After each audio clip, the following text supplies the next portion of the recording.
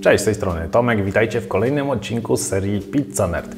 Tym razem kontynuujemy temat focacci, czyli chleba, pizzy, czegoś pomiędzy, a może bardziej pizza, może bardziej chleba. To tak naprawdę nie ma znaczenia. Prostą i szybką focaccię zrobicie według przepisu z poprzedniego filmu, ale tym razem spróbujemy podnieść poprzeczkę wyżej, tak, tak dużo wyżej po to, żeby smak był jeszcze lepszy, wygląd był jeszcze lepszy i żeby generalnie ta focaccia, którą upieczecie z tego przepisu była po prostu genialna. Uzyskamy ten efekt głównie poprzez długi czas y, przechowywania ciasta w lodówce. Co najfajniejsze, to ten zabieg powoduje, że nie musicie takiego ciasta prawie wcale wyrabiać. No ale przejdźmy do przepisu. Uwaga, ten film ma sponsora. Tym sponsorem jestem ja sam, bo właśnie trwają zapisy na moje warsztaty kulinarne online. A o czym te warsztaty? Oczywiście o pizzy, jak żeby inaczej. Cenie jednodniowych takich tradycyjnych warsztatów otrzymujesz dostęp do mnóstwa materiałów wideo, tekstowych, poradników, przepisów, będziemy szkolić technikę, to zajmie nam parę miesięcy, więc zabawa będzie przednia i bardzo długa. Po szczegóły odsyłam Was na stronę www.pizzanet.pl. Link do niej znajdziecie w opisie pod filmem. A teraz wracamy do przepisu. Do przygotowania tej focacci potrzebujecie standardowych składników, czyli mąki, wody, drożdży i soli, no i oczywiście oliwy z oliwek. Focaccia bardzo lubi się z oliwą. Jeżeli chodzi o ilości składników, no to jak zwykle znajdziecie dokładne proporcje w opisie pod filmem. Pamiętajcie, że możecie dzięki temu łatwo zwiększyć albo zmniejszyć ilość ciasta, a zatem e, rozmiar, jak i grubość Waszej focacci. Mąka, drożdże i woda lądują w misce. Wystarczy, że zamieszacie je troszeczkę, dodacie sól i te wszystkie składniki połączycie tak, żeby powstało takie w miarę jednorodne ciasto. I to wszystko. Teraz musicie taką miskę przykryć i wstawić najlepiej na całą noc do lodówki.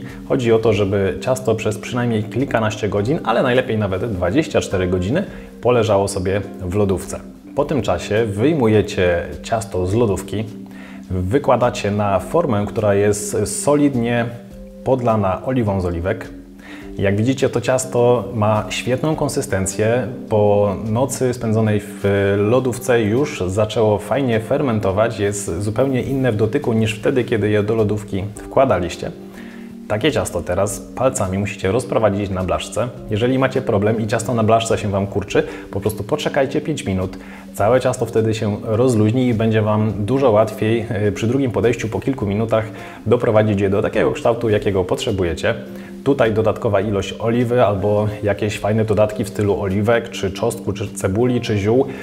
To jest moment, żeby to wszystko wylądowało w cieście. Możecie je po prostu powciskać palcami. Mogą to być nawet całe pomidory koktajlowe, na przykład owinięte listkami bazylii i jak już z grubsza wygląda, że wszystko jest na swoim miejscu, to przykrywacie taką blaszkę i odstawiacie w ciepłe miejsce najlepiej na 3 do 4 godzin. Chodzi o to, że ciasto najpierw musi dojść do temperatury pokojowej, a potem jeszcze już takie e, lekko ciepłe podrosnąć. Jeżeli będziecie widzieć, że na powierzchni tego ciasta już dzieją się takie fajne rzeczy, że e, zaczynają się pojawiać jakieś bąbelki, że ono wyraźnie zwiększa swoją objętość, to to jest moment, w którym możecie wstawić focaccię do piekarnika.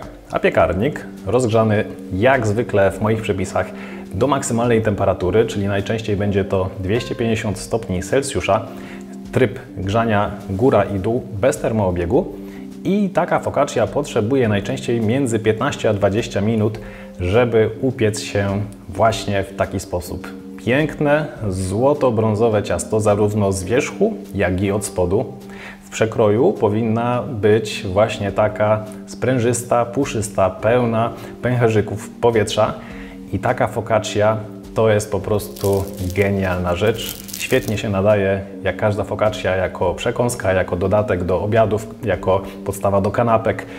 To tak naprawdę Wasza wyobraźnia tylko ogranicza ilość sposobów na wykorzystanie focacci, a ja nie byłbym sobą, gdybyśmy nie spróbowali w kolejnym filmie upiec focacci na zakwasie.